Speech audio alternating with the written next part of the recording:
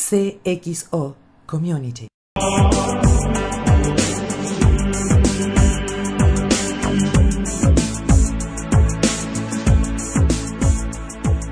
Bueno amigos, bienvenidos a un nuevo programa de Templarios de la Seguridad. Estamos en el programa número 26.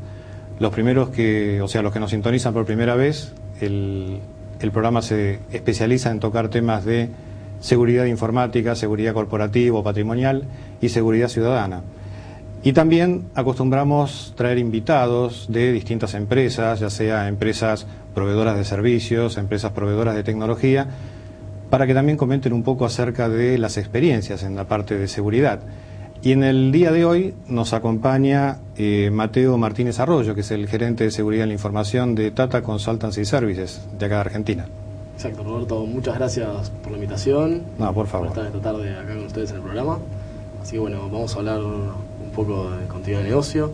Así y es. también les quería comentar un poco sobre Tata Consultancy Services y un poco cómo llegó a Argentina y cómo son los servicios que estamos desarrollando en cuanto a consultorías de seguridad de la información. Eh, lo primero, bueno, Tata Consultancy Services es una empresa india, eh, es parte del grupo Tata, eh, que bueno, en India tiene empresas de telecomunicaciones, que es Tata Communications, eh, toda la parte de hoteles, toda la parte, bueno, y nosotros como subsidiaria la parte de consultoría, que empezó como desarrollo de software, pero la verdad que con el correr de los años ha ido migrando hacia servicios de consultoría y servicios de outsourcing de procesos, por ejemplo. En, en la región se instala en el 2002 en Uruguay y bueno, y en Argentina en particular en el 2005 empezaron las operaciones. Bueno, Y- no, no sigas mucho más porque tenemos que ir a, a los auspiciantes y ahora después enseguida volvemos y ahí empezamos a, a desarrollar bien los temas. Eh, enseguida volvemos con ustedes y ahora van a ver los auspiciantes del programa. Enseguida volvemos con más Templarios de la Seguridad. Acompañan a Templarios de la Seguridad las siguientes organizaciones. Fundesco, Fundación para el Desarrollo del Conocimiento. Instituto de Investigaciones en Seguridad en TICS de Fundesco. Instituto Universitario de la Policía Federal Argentina. Consejo Profesional en Ciencias Informáticas en sus 25 años de trayectoria. CXO Community.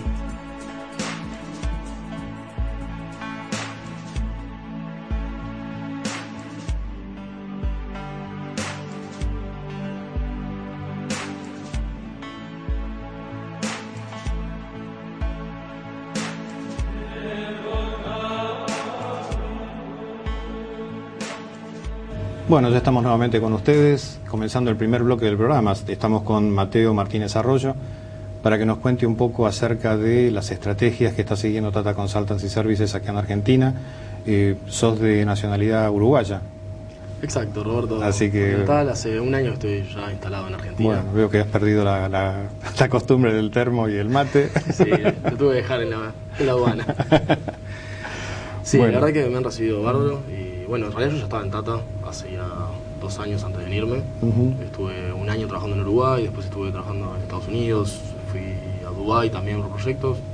Seguimos trabajando un poco en la región hasta que, bueno, eh, Argentina estaba en esta situación de armar un nuevo centro, muy enfocado y preocupado por temas de seguridad, seguridad de información y demás, así que, bueno, me ofrecieron venir y la verdad que fue un desafío interesante, que bueno, estamos Fue una estrategia particular, ¿no? De Tata Consultancy de iniciar actividades en Latinoamérica, Sí. ingresando primeramente en un país, digamos, no de los que tienen mayor actividad dentro de Latinoamérica, pues podría haber ido a Colombia, a Chile, a Brasil o México antes de empezar operaciones en Argentina, ¿no? Sí, Tata Consultancy Service tiene un- una forma de brindar servicios que se llama Global Network Delivery Model, que lo que hace es eh, hacer la entrega de servicios a sus clientes a través de un modelo distribuido a, a través del mundo. Entonces, eso nos sirve para cubrir eh, todo el rango de horarios. Entonces, eh, lo bueno que tenemos en Argentina, Uruguay, en estos países es que tenemos la misma zona horaria, zona horaria que los clientes en Estados Unidos. Entonces podemos desarrollar sobre- en la noche en India y durante el día dar soporte a producción a sistemas, por ejemplo. Es entre otros de los servicios que, que son beneficiados por este servicio global. Ujú. Eh, las operaciones, como te contaba, empezaban, empezaron en 2002 en Uruguay, para luego instalarse en el resto de la región, en Argentina, en Colombia, en Chile, Brasil, eh, en Ecuador eh, hay una operación bastante grande también y México. Eh, la, verdad que fue un desafío interesante, un tema cultural, pero sumamente estratégico por lo que contaba. Los clientes eh, americanos tienen la misma horaria, es muy fácil trabajar con ellos de la región. Mucha gente que viene de otras empresas que ya ha trabajado con clientes americanos, entonces la realidad es que ha funcionado muy bien y ha ido creciendo y se ha ido expandiendo alrededor del mundo. ¿Cada unidad operativa tiene alguna especialización en particular o cada unidad es autosuficiente para cubrir las operaciones del, del país? Mira, hay centros como el de Uruguay, por ejemplo, que mayoritariamente eh, dan servicios a clientes globales en este modelo. En particular el modelo de Argentina es eh, tener un porcentaje elevado de dar servicios a clientes locales. Entonces se están desarrollando, eh, se está ofreciendo una cartera completa de, servicios de Tata Consultancy Services en Argentina que no estaba sucediendo en Uruguay, sino que se atendían clientes globales, eh, por lo cual es una posición interesante la que tiene TCS hoy en Argentina. Respecto del, tema, digamos, que nos, nos ocupa en el programa de hoy, que es todo lo que es plan de continuidad de negocio, ¿no? que pareciera que para las empresas primero tiene que suceder algún tipo de desastre para que recién alguien se ponga a pensar de, che, pero no se podría esto haber eh, evitado o haber mitigado un poco el daño si alguien se hubiera puesto a pensar que esto podía llegar a suceder. Sí, sí, eso es un tema que muchas veces se empieza a trabajar después de los incidentes o después de un desastre o por temas de cumplimiento. Esos son generalmente los dos principales focos de inicio. La realidad es que se empezó a hablar de planes de contingencia en los 80, cuando empezaron toda la parte de informatizar servicios, especialmente en el, ámbito financiero. Pero bueno, no dejaba de ser que cómo recuperar un servidor a, ese, nivel, eh, o el mainframe. Eh, después pasó en el año 99, ¿no? Con todo el qué pasaba cuando llegaban los dos ceros de vuelta, se empezó a hablar de vuelta de planes de contingencia, pero un punto clave fue con las Torres Gemelas, en 2001. Donde sí, ahí fue un cambio de paradigma mundial. Mundial, porque muchas empresas eh, fracasaron, desaparecieron, sus planes de continuidad no funcionaron, fracasaron, se perdieron empresas. Eh, había empresas que tenían sus operaciones en una de las torres y, la contingencia o el backup en la otra torre. Perdieron toda su información, empresas que podían cotizar en bolsa, necesitaban ciertos registros de, 10 años o lo que sea. Empresas que operaron en una torre y lograron recuperar sus temas. Hubo reportes a los 10 segundos, 15 segundos Europa, por ejemplo, claro. pero su personal eh, pereció en las torres. Entonces, eh, perdieron el conocimiento humano y también fueron empresas que fracasaron en su recuperación, más que los sistemas sí estaban activos. Y bueno, más allá de que fallaron los planes de evacuación, donde había temas de, bueno, baje al piso 20 y espere un llamado, fallaron las comunicaciones, no hubo llamados, hubo gente que quedó esperando, lamentablemente. Entonces se hizo todo un cambio, los planes de continuidad de negocio se tomaron más en serio, se empezó a trabajar, a armar metodologías y formas y buenas prácticas para desarrollarlos y ha ido cambiando hasta ser una parte ya integrada del negocio, ¿no? lo que es eh, gestión de continuidad de negocio o, BSM, es por siglas en inglés. Claro. Eh, entonces, bueno, estamos trabajando bastante. Eh, Tata, por ser una empresa mundial con 160.000 empleados, internamente lo ha desarrollado muy fuerte, todo lo que es continuidad de negocio y, planes de contingencia que le ofrece a sus clientes. Y, y bueno, también ha salido como servicio hacia afuera por, por suerte he tenido la oportunidad de trabajar en varios proyectos de continuidad de negocio. Eh, en Chicago, por ejemplo, en Dubai, que si querés después charlamos un poco más de, algunos ejemplos. Pero creo que es un punto importante para empezar a trabajar en las empresas. muchas veces, eh, especialmente en, empresas donde tienen que tener cumplimientos regulatorios, con ciertas normas, ya sean locales o, porque llegan corporativamente, eh, se trabaja a modo de checklist y cumplimiento de, ciertos procesos y no se toma en serio hasta que sucede algún incidente, ya sea una fuga de información, algún ataque o algún desastre por razones naturales. Sí, esto me, o sea, me, viene a la memoria las, las tradicionales recetas rápidas que buscan a veces las empresas para pasar las auditorías. Es como si, por ejemplo, tengo que hacerme un chequeo médico, entonces la semana anterior em, empiezo a comer menos, me pongo a dieta. Eh, para que el resultado me dé bien y después cuando termine el chequeo médico sigo haciendo el mismo desastre que hacía antes. parece como que es más importante un tilde de auditoría y no realmente asegurar la continuidad de las, de las operaciones de la empresa, ¿no? Sin dudas, y, la realidad es para que un plan de continuidad eh, funcione y sea real, se necesita un compromiso de, toda la organización, pero en particular el enfoque tiene que ser eh, top-down, ¿no? O sea, tiene que venir de la alta gerencia que esté comprometida en desarrollar un plan de continuidad que sea efectivo y que sirva para la organización y que asegure su continuidad frente a cualquier tipo de incidente, eh, por más grave que sea.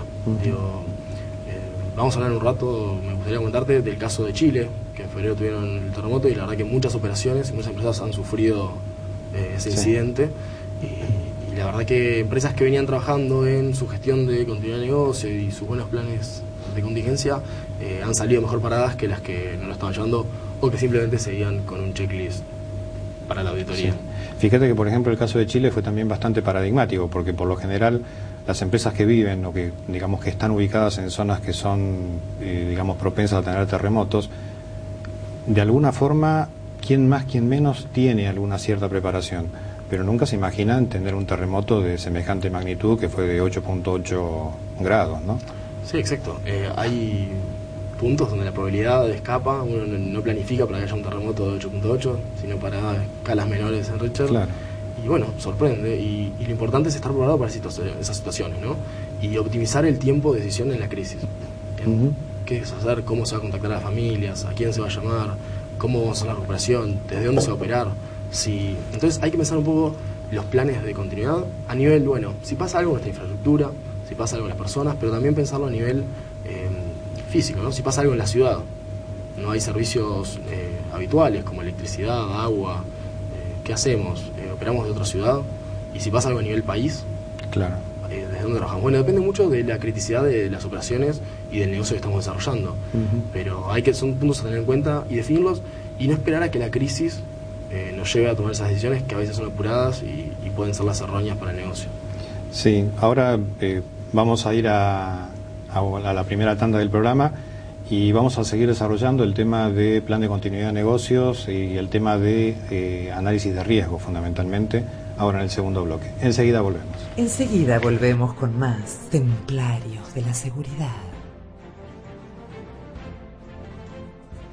Acompañan a templarios de la seguridad las siguientes organizaciones. Fundesco, Fundación para el Desarrollo del Conocimiento. Instituto de Investigaciones en Seguridad en TICS de Fundesco. Instituto Universitario de la Policía Federal Argentina. Consejo Profesional en Ciencias Informáticas en sus 25 años de trayectoria. CXO Community.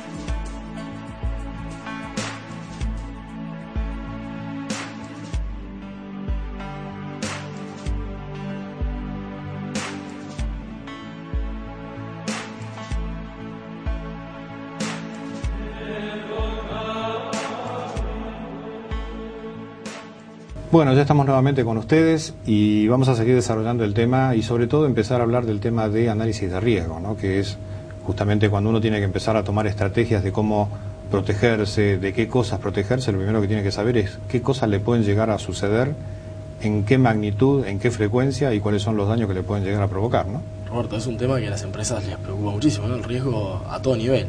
Uh -huh. Hablamos de parte de gobierno, de que el que conoce la fórmula de una receta no viaje en el mismo avión sí. que, que, su socio o su par, eh, toda la parte después operativa y de gestión, y en particular debemos enfocarnos en lo que son las personas, todo el análisis de riesgo de las personas, que son nuestro principal activo, ¿no? toda la parte de, después de infraestructura a nivel edilicio, dónde van a trabajar, dónde van a estar operando, dónde funciona nuestro negocio, y después toda la parte de infraestructura tecnológica, que hoy en día está eh, bebida en todas las organizaciones. Sí. Entonces, eh, la idea es buscar cada uno de esos eh, riesgos que podemos detectar en la organización. La idea es que esto sea formalizado. Eh, el trabajo que se hace generalmente es un análisis de impacto a través de un, del BIA, que es, por sus en inglés es muy conocido, el Business Impact, Analysis. Entonces, lo que se hace es evaluar y hacer un, hacer un reconocimiento de todos los procesos de la organización y cuáles son los, definir cuáles son los críticos. Entonces, cuando hablamos de planes de continuidad de negocio, nos vamos a enfocar en esos procesos críticos de la organización lo que vamos a buscar es que se mantengan operativos o que podamos cumplir con... Eh, armar, se habla de una ventana de tolerancia en que la empresa puede no operar durante esos eh, procesos críticos, capaz que son menores, capaz que no son aceptados, que haya tiempos eh, sin operar.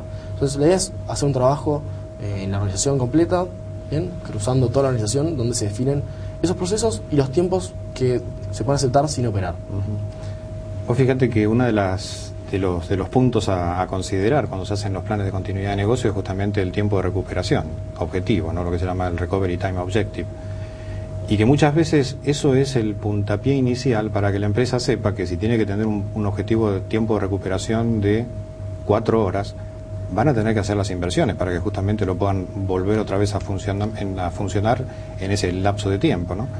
Eso era un poco lo que te comentaba, que eh, la única forma de que funcione efectivamente un plan es que sea desde la alta gerencia donde venga. Entonces, cuando uno se compromete a que, como comentabas, sea de cuatro horas, por ejemplo, el tiempo mínimo, ¿no? O sea, para recuperar, eh, bueno, hay que hacer una inversión también en eso y hacer definir un montón de procesos y actividades para poder cumplir eh, con esos tiempos de recuperación. Sí. Yendo más nuevamente al tema de análisis de riesgo, eh, una de las experiencias, todos hemos venido, digamos, de empresas de tecnología informática, telecomunicaciones, etcétera, y en, mis vidas pasadas, o sea, me tocó la, responsabilidad de estar liderando una línea de negocios, de, negocios de data centers para una empresa de telecomunicaciones muy grande regional, y había sucedido justo el problema del huracán Andrew, uno de los primeros huracanes que habían empezado a causar bastantes problemas en la costa de, de Miami fundamentalmente. Y una de las consideraciones que habían tomado la empresa que contrató un servicio fue que estuviera todo respaldado en un data center de categoría 5. El data center estaba ubicado en las afueras de Miami, con niveles de protección impresionantes, antenas parabólicas rebatibles para que no, no tuvieran problemas de que el viento las, las embolsara y las arrancara de cuajo, pero no consideraron que el edificio donde estaba ese data center estaba en una zona que era de alguna manera inundable. Entonces, cualquiera sabe que cuando hay vientos huracanados, el agua del mar cae adentro de la ciudad. Bueno, la cosa es que había quedado completamente aislado esa sede y los empleados que tenían que trasladarse al sitio de contingencia para poder seguir operando los sistemas no tuvieron nunca forma de poder llegar. Así que estaba contratado algo que teóricamente para los que se fijan las, las normas de auditoría tenía uno de los tildes más importantes, pero no funcionaba. Ah, increíble. Y bueno, como dices, hay casos, un montón de casos, ¿no? De planes que no, no son probados al momento o que a veces eh, los riesgos que uno incluye, el alcance que tiene el plan, no, no los integra. Eh, volviendo un poco al ejemplo más reciente este de Chile que comentábamos, claro. pasó que edificios que bueno estaban preparados eh, para los sismos de grados menores a 8.8, bueno, no, no fueron resistentes a, a este sismo. Eh, otros edificios sí estaban preparados, pero no están preparados a nivel energético, por ejemplo. Claro. No para tenían un generador para ser autosuficientes durante 3, 4, 5 días. Y, bueno, las operaciones tampoco pudieron continuar. Eh, o tuvieron que salir de urgencia a comprar generadores. ¿Cuál sería el precio de un generador en, ese momento? No, en ese momento no tiene precio. Entonces, eh, si tus operaciones son tan críticas, como comentábamos recién, de 4, 5 horas, ¿te da para salir a comprar un generador y volver? son puntos que hay que tenerlos en cuenta bastante antes de que suceda un incidente de este tipo. Eso es lo importante. Igualmente también en el caso de Chile, empresas que pensaron que el único problema que podían llegar a tener era un terremoto y hubo zonas que fueron devastadas por el tsunami que se generó después del terremoto, que no tuvieron terremoto pero tuvieron el otro problema y no estaban preparadas para eso.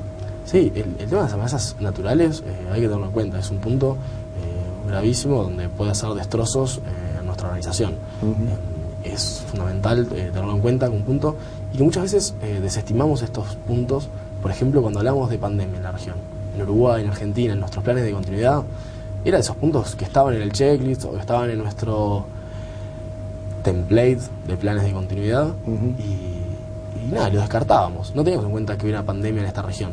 Claro. Sin embargo, pasó, la fiebre porcina, eh, no sabemos qué hacer, o sea, o no, no sabemos qué hacer, había que resolverlo en el momento, ¿no? O sea, la gestión de crisis era todo, bueno, ¿qué decimos? La gente trabaja desde su hogar, le damos internet a cada uno, eh, quiénes son las personas críticas que deberían seguir trabajando y quiénes, bueno, les damos eh, libre hasta que pase la pandemia. Son dos puntos que hay que resolver antes. Está bueno detenerse, tomarse un tiempo y definir qué es lo que se va a hacer en un caso eh, tan grave como esos. Sí. Y también el tema de que los planes de continuidad de negocios se tienen que estar revisando en forma continua. Por supuesto, todo lo que es... Eh, la verdad que en cada cambio que hubiera en la infraestructura debería actualizarse el plan de continuidad. Eh, cada cambio a nivel del edificio también debería eh, actualizarse. la planilla personal, o sea, hay un montón de puntos donde, bueno, es importante tenerlo actualizado para que en caso de crisis podamos tener un plan eficiente. Y lo más importante es hacer pruebas. Hacer diferentes tipos de pruebas de nuestros planes, desde pruebas sobre la mesa, de revisar procedimientos y y cómo se va a actuar en, la crisis. Claro. Hasta pruebas ya de simulacro, donde, bueno, si hablamos de infraestructura tecnológica, decir, bueno, apagamos estos servidores, vemos que recupere y la vuelta atrás, porque muchas veces se hace, se puede pasar la contingencia y no se vuelve. volver. Entonces es muy importante lograr eh, el ciclo completo del simulacro. Eh, después, a nivel de esto que comentaba, eh, ir a trabajar fuera de la oficina. Bueno, el grupo de operaciones críticas trabaja desde un hotel, por ejemplo. Bueno, que hagan ese simulacro un día. Esas 12, 15 personas clave de nuestra organización se van al hotel y vemos cómo funciona el alquiler de hotel, eh, todo el tema de rentar un remiso, que lleguen hasta el lugar, eh, alimentación, que todos tengan su portátil o su PC para trabajar ahí, el software que necesitan, eh, los teléfonos celulares, los contactos de quienes tienen que llamar y, ver que realmente eso sirva para completar todas esas operaciones críticas que hemos definido en nuestro día. Claro. Bueno, nos estamos quedando sin tiempo ya en este bloque. Y una de las cosas que es importante que nunca se olviden cuando se hacen los planes de continuidad de negocios, no es solamente para las operaciones, y a veces la gente piensa solamente en las operaciones informáticas, hay que pensar también en la gente, porque de nada sirve que yo tenga procesos disponibles para ser utilizados si no hay nadie que los pueda operar. Eh, ahora vamos a ir una, a una serie de noticias de la periodista Nadia Molina, que nos va a comentar noticias sobre temas de seguridad, y enseguida volvemos con ustedes para el cierre de este programa a la entrega número 22 de Thread Post en español. Yo soy Nadia Molina y como cada semana le traigo la información más relevante en materia de seguridad informática. Google está eliminando gradualmente el uso interno del sistema operativo Windows.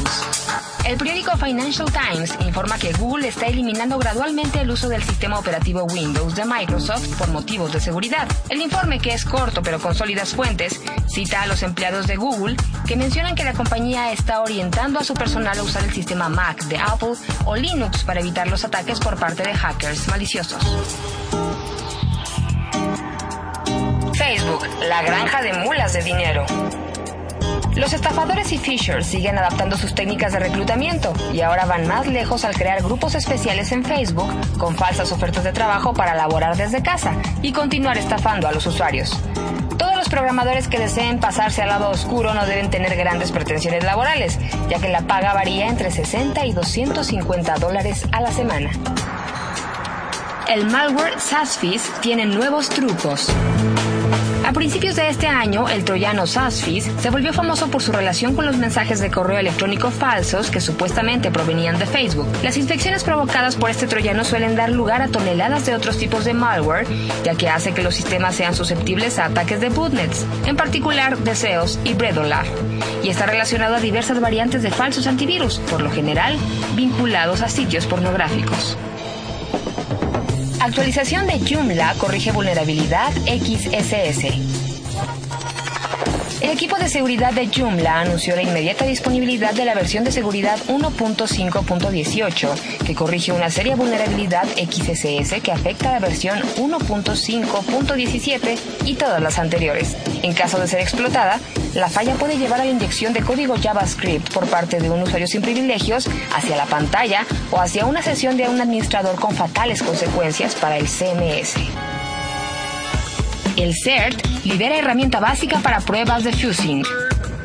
El CERT, o el Equipo de Respuestas a Emergencias de Seguridad de la Universidad Carnegie Mellon, liberó un marco básico completamente gratuito para realizar fusing y así ayudar a identificar y eliminar vulnerabilidades en los productos de software.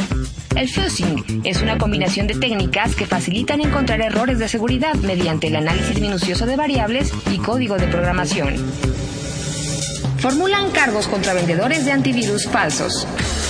Las autoridades estadounidenses han formulado cargos contra tres personas acusadas de haber ganado más de 100 millones de dólares vendiendo programas antivirus fraudulentos.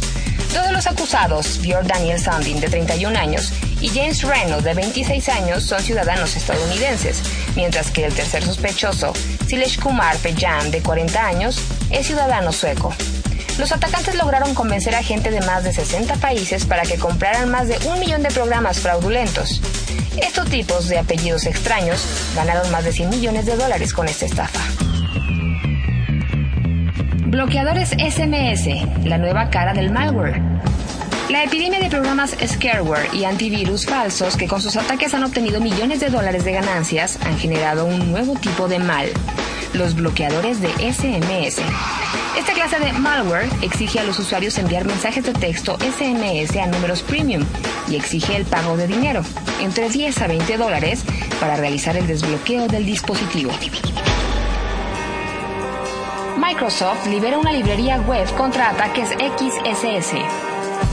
Microsoft liberó una librería de protección web de código abierto para ayudar a los desarrolladores a proteger sus sitios web contra ataques de código de sitios cruzados, mejor conocidos como XSS. La web de protección de código abierto que está integrada dentro de un conjunto de ensambladores.net se ofrece como parte de las defensas y estrategias de seguridad y agrega una capa extra a cualquier validación que puede usarse como una herramienta para codificaciones seguras.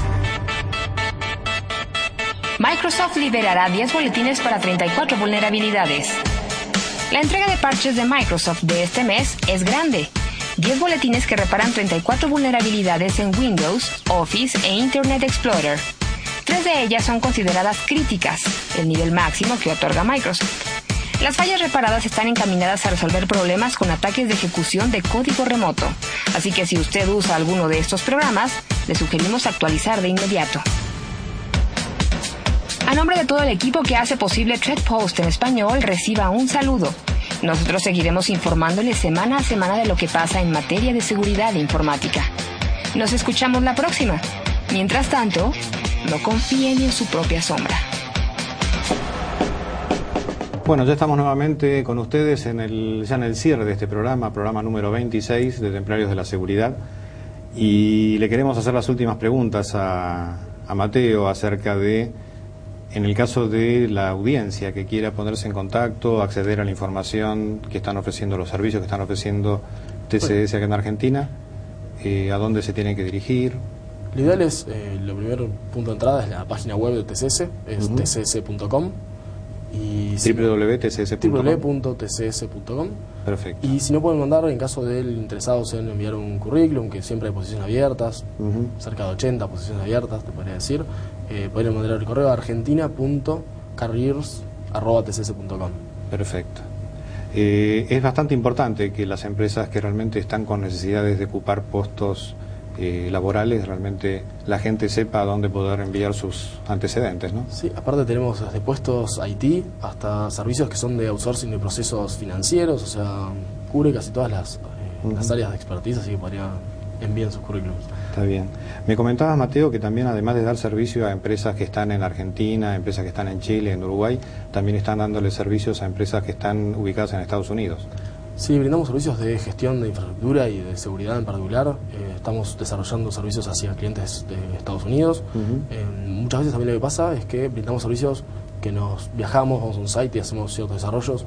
Eh, proyectos en Estados Unidos, por ejemplo, donde dimos servicios de continuidad de negocio, generar un data center alternativo, lo mismo en Dubái.